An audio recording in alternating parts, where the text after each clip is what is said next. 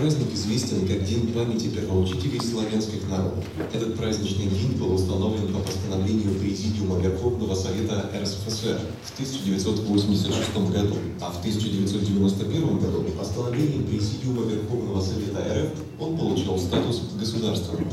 Официально это не выходной, но проводятся различные фестивали, концерты и другие мероприятия, посвященные этому празднику. День славянской письменности и культуры – это единственный в нашей стране церковно-государственный праздник. Мероприятия, приуроченные к этому празднику, проходят во многих городах России и не ограничиваются одним днем. Истоки славянской письменности возвращаются к святым равноапостольным братьям Кириллу и Мефодию, которые принесли на славянскую землю письменность, тем самым приобщили многомиллионные славянские народы к мировой цивилизации, мировой культуре. Славянская Вячеслав Святопол Кацел отправили к византийскому царю Михаилу послов со словами «Земля наша крещена, но нет разучителя, который бы наставил и поучил нас, и объяснял святые книги. Ведь не знаем мы ни греческого языка, ни латинского. Одни учат нас так, а другие иначе. От этого не знаем мы ни начертания букв, ни их значения. И пошлите нам учителей, которые бы могли нам рассказать о книжных словах и о смысле их. Тогда вызвал царь Михаил двух ученых братьев, Кирилла и Мефодия, и уговорил их царь и послал их в славянскую землю. Когда же братья эти пришли, начали они составлять славянскую азбуку и перевели апостол Евангелие. И рады были славяне, что услышали о величии Божьем на своем языке. Затем братья перевели псалтырь, актоих и другие церковные книги. С принятием христианства на Русь пришла и славянская азбука. И в Киеве, и в Новгороде, и в других городах стали создавать школы для обучения славянской грамоте. Явились в русской земле учителя из Болгарии, продолжатели дела Кирилла и Мефодия. Новый алфавит получил название кириллица по монашескому имени Константина. Славянская азбука была составлена на основе греческой, существенно изменив ее, чтобы передать славянскую звуковую систему. Были созданы две азбуки – глаголица и кириллица. Изначально существовало твердое убеждение, что только три языка являются достойными для богослужения и написания церковной книги – древнееврейский, греческий и латинский. По Паризе и после представления братьями нового славных, равноапостольных в Беларуси, Македонии, в Польше, Чехии и Словакии хвалят братьев премудрых в Болгарии, в Украине, Хорватии, Сербии. Все народы, что пишут кириллицей, что зовутся славянскими, славят подвиг первоучителей. Но, дорогие друзья, а, в старину наши предки а, начинали свой день с обращения к силам природы, к солнцу. А давайте, вот у меня такой небольшой флешмоб, давайте мы все вместе, так же, как они, поприветствуем друг друга. Готовы? Да, давайте, давайте, я вам буду читать небольшие строки и показывать движение, и мы все вместе их повторим. Друзья, готовы? Делаем над головой большую букву О. Все, все, все. Давайте. Из глубокого колодца солнце медленно встает. Свет его на нас прольется, луч его нам улыбнется, новый день оно начнет, и обязательно нужно обнять соседа справа и слева. Ну так, дорогие друзья, да, двоих можно двоих, мы вас, конечно, двоих приветствуем друг друга, ведь мы все вместе, здесь одна большая семья, ведь правда? Ну что, дорогие друзья, а я приглашаю к микрофону председателя Совета Ленинградской областной организации «Славяне», заслуженного работника культуры Российской Федерации Федора Кузьмича Сидельника, который сегодня нас с вами всех собрал. Добрый день, уважаемые слушатели и гости нашего города. Сегодня мы впервые за многие годы это мероприятие проводим вместе с Тощинским районным культурно-спортивным центром и Ленинградской областной общественной организацией «Славяне». А трудное время, хорошая погода, отпуска, дачи. Но тем не менее, спасибо, что сегодня, ну скажем так, полный зал народа. И мы очень э, рады вас видеть с этим и поздравляем. День славянской письменности и культуры два направления. Славянская письменность и славянская культура. Сначала было слово, был славянский язык, потом культура. И сегодня на слова прозвучать украинские, белорусские, русские народные песни, танцы. А, Все дело в том, что эти два направления очень давно объединены, и мы решили сегодня упор делать больше на слово «культура». Наш э, праздник собрал здесь хоровые коллективы солистов, будут гости из города. И э, я вас искренне с этим праздником поздравляю. И говорю первые слова. Начало всех начал. Российский поэт Николай Рачков, пожалуйста.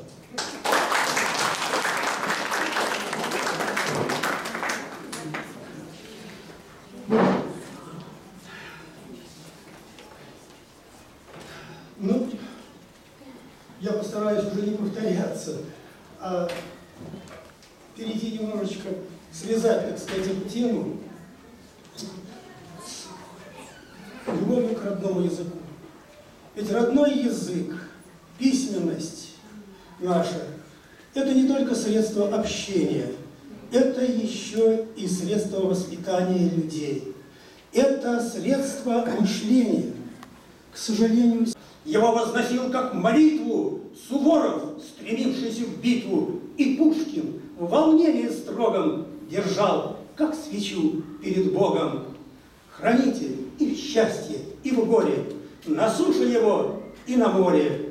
Не будет наследства другого главнее, чем русское слово и русская письменность.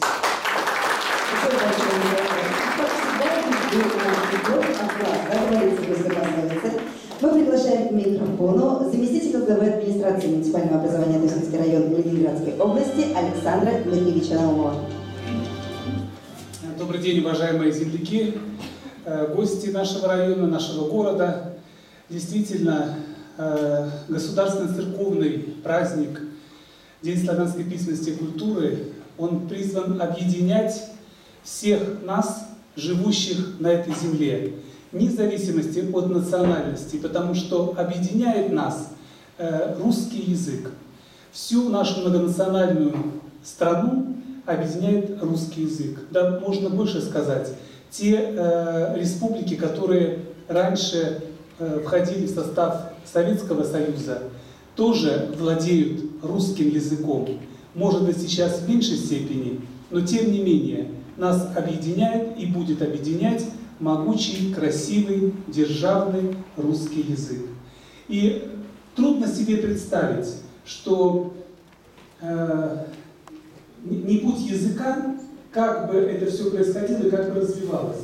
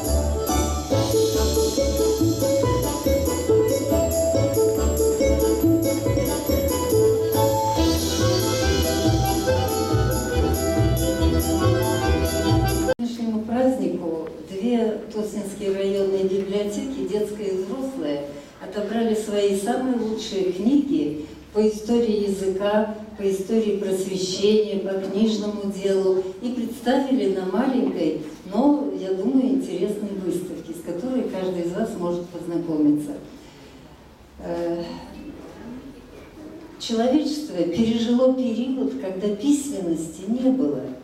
И это было трудное время, потому что э, информация накапливалась э, со столетиями, опыт человеческой жизни обогащался, а устная передача накопленного опыта, исторических знаний, каких-то деловых наработок задерживалась. И в целом без письменности, без национального языка народности не могли быстро развиваться, проходить все стадии цивилизованного развития. Поэтому, если нация, народ имеет свой национальный язык, свою письменность, это явные признаки высокого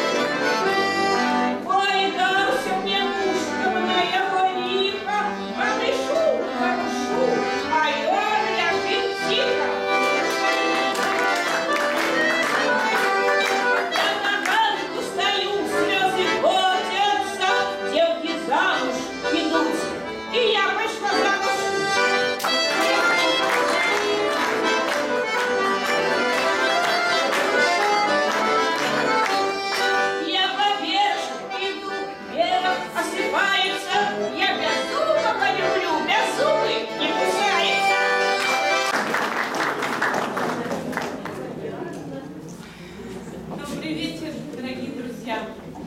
Знаете, так много прекрасных слов сегодня сказали о русском языке, а русский язык, русская литература – это вся моя жизнь. Вот уже более 23 лет я веду литературный клуб в мире прекрасного, и он у нас под пушкинской звездой, потому что самая первая лекция называлась «Звезда любви и вдохновения». У нас не было зала, у нас было мало. Сейчас у нас побольше, и у нас чудесная наша районная библиотека предоставляет помещение. Вот я сейчас сижу и думаю, прекрасная солнечная погода, солнце светит. А вы знаете, Россия, Россия очень удивительная и богатая страна. У нее не только две столицы, на гербе двухглавый орел, но еще два солнца. Потому что у нас еще существует солнце Александр Сергеевич Пушкин. Через три дня мы отметим день его рождения. Это по старому стилю, а 6 июня Зеленая поляна в Михайловском будет сон Степана Разина, она больше известна как «Утренний вечер», и комара, муха,